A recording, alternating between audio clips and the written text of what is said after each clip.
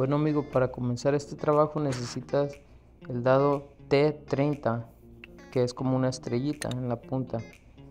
También una racha y bueno, yo utilicé mi taladro para hacer el trabajo más rápido. También acuérdate de traer tu filtro y ahí está el número. Para comenzar, localizamos donde está el filtro, aquí, al lado del pasajero. Vamos a utilizar nuestro dado T30 para aflojar los tornillos. Acuérdate que es como una ah, estrellita, ah, pero también es casi como una L. Bueno, ya aflojé los tornillos. Ahora voy a colocar unas este, unas toallitas de papel, pero tú puedes utilizar este, garras o lo que tú quieras, simplemente para prevenir a que se nos escurra o se nos tire el diésel y se haga un chorreadero. Ahora ya, ya utilizando un, desarmador plano, se lo metí en esa sección para este, levantar un poco la tapadera donde está el filtro.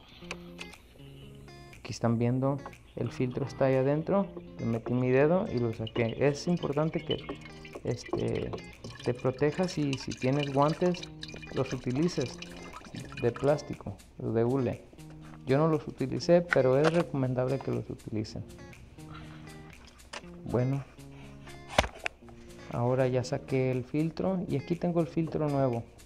Simplemente el filtro nuevo lo voy a meter ahí donde está este el diésel y aún tiene diésel ahí adentro simplemente lo meto para que se remoje y absorba el diésel ahora vamos a cambiar el empaque y también utilicé el mismo desarmador plano para que me ayude a sacar el empaque viejito. En la caja del filtro nuevo viene un empaque nuevo. Aquí está. Ahora este es el, el empaque nuevo. Vamos a colocárselo.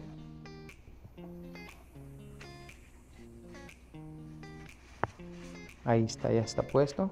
Ahora sí vamos a sacar el filtro una vez más el que ya metí que ya absorbió el diésel. Y ahora sí vamos a metérselo a la tapadera. Así. Ahora sí vamos a bajar la tapa y a colocarle los tornillos para atrás.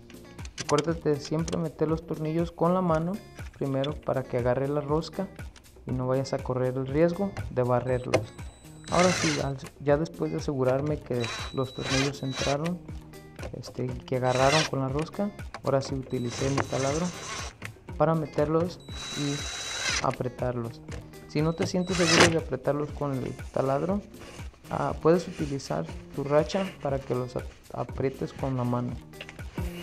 Una última vez limpiamos y el trabajo está listo. Bueno amigos, muchas gracias por mirar el video. Acuérdate de suscribirte y ponle like al video. Cuídate, nos vemos.